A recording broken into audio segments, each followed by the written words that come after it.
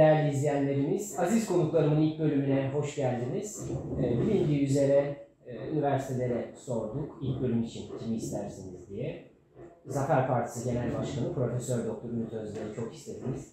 Gerçekten biz de e, irtibata geçtik ve isteğimizi de getirdik. İsteğimizi kabul ettiğiniz için size minnettarız. Çok teşekkür ediyoruz. E, gençleri kırmayıp geldiğiniz için gerçekten minnettarız efendim. E, isterseniz sorulara yavaştan geçelim. Lütfen. Efendim Marmara Üniversitesi'nden bir öğrencimiz gelmiş, soru sormuş, Türkçe öğretmenliğinden. Gençlere yönelik projeniz nedir diye sormuş. Zafer Partisi'nin gençlere yönelik projeleri ne- nedir diyor. Niçin Zafer Partisi diye bir soru var efendim. Şimdi bir şeyin altını çok net çizmek isterim. Ee, Türk gençliği Zafer Partisi'nin e, ne dediğini en iyi anlayan gençlik kesimi, e, seçmen kesimi oldu. Ve e, büyük bir destek alıyoruz gençlikten. Ama gençlikten bu desteği alırken doğrusu biz gençliğe özel bir şey vaat etmedik. Size daha ucuz telefon veririz. İnternette indirim yaparız. Laptop veririz.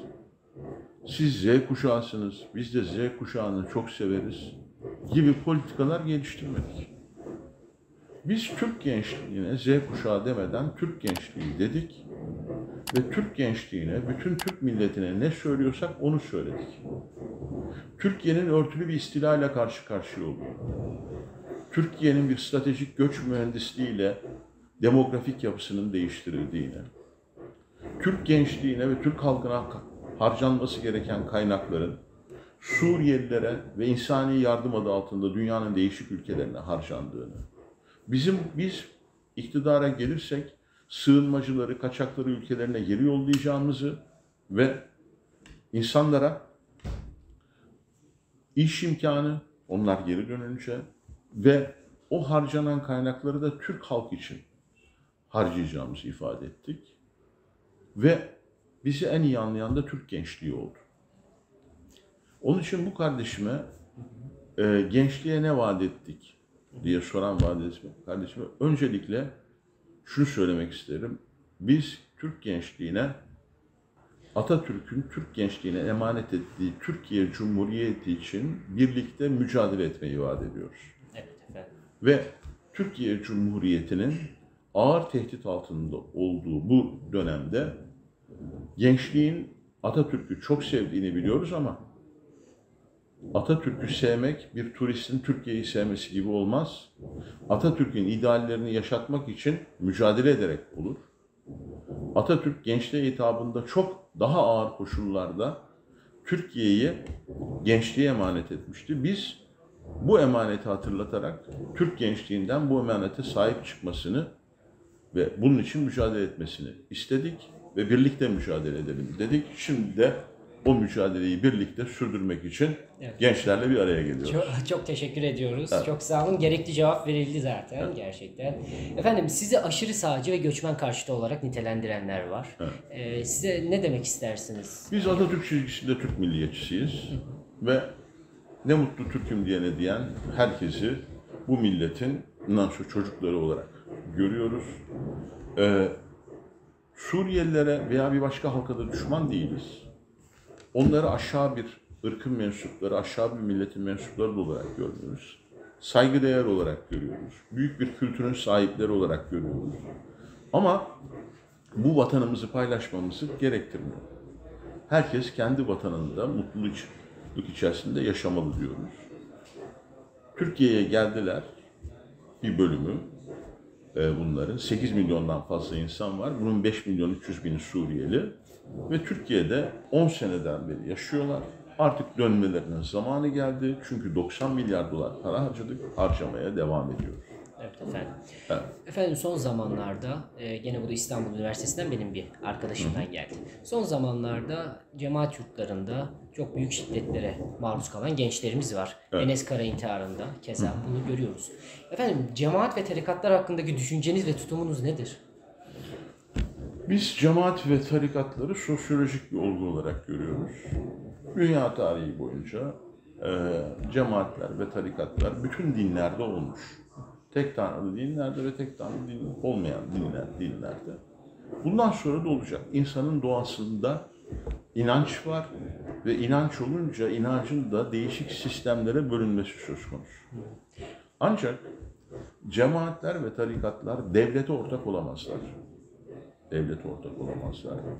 Devlet içinde örgütlenemezler ve cemaatler ve tarikatlar holdingleşemezler.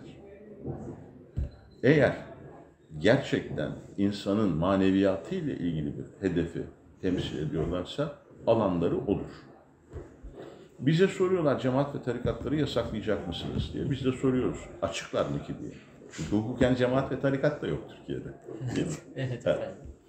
Ee, bizim yapacağımız şey devlet ortaklığı engellemek ve e, kul hakkına girmelerini şirketleşerek sömürü düzeni üretmelerini engellemek. Evet. Peki cemaat ve tarikat yurtlarını yasaklayacak mıyız? Onu da cevaplandırayım.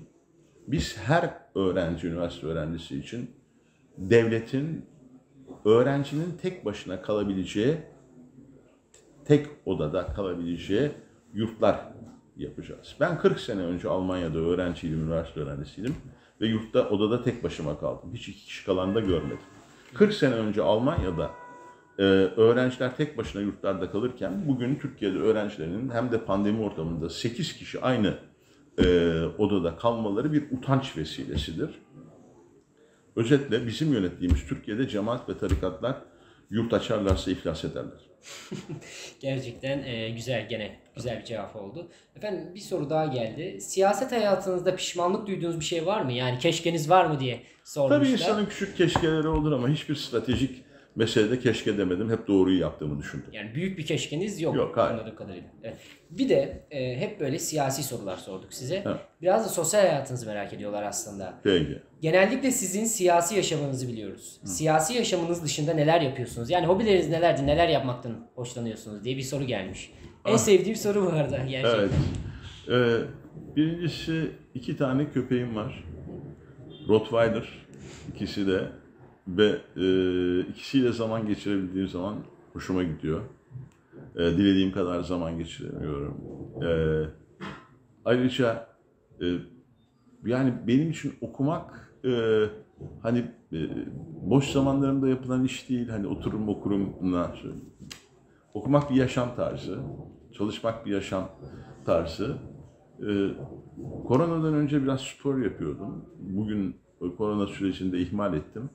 Şimdi tekrar e, spor yapmaya başlayacağım boş vakit bulduğum e, zaman. Ama ben buna boş vakit de demek istemiyorum. E, çünkü e, hiç böyle ben bütün hayatım boyunca e, çalıştım duygusuna sahip olmadım. E, çünkü sevdiğim işi yaptım hep. Yani akademisyen olmak benim için çalışmak değildi. Sevdiğim şeyi yapmaktı. Siyaset de benim için çalışmak değil. Siyaset de Türk milletine hizmet etmek için bir araç E, ve bana yetiyor. Mükemmel. Efendim gerçekten e, biz gibi gençlere özellikle gazetecilik sınıfı öğrencisiyim. İstanbul Üniversitesi gazetecilik öğrencisiyim ve ilk röportajım. O yüzden biraz heyecanım var. Onu da mazur görün. E, bizi kabul ettiğiniz için çok teşekkür Rica ederim. ediyoruz. Gençlerin sorularını cevapladığınız için çok teşekkür ediyoruz. Rica ederim. Efendim Nisan ayı konuğumuz Zafer Partisi Genel Başkanı Profesör Doktor Ümit Özdağ'ydı. E, efendim Nisan Mayıs ayında görüşmek üzere. Sağlıcakla esen kalın.